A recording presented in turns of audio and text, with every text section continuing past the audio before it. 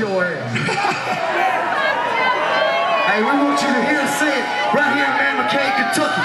Fuck you, Joe Biden! This man don't like him at all. Man, fuck him. I don't like him.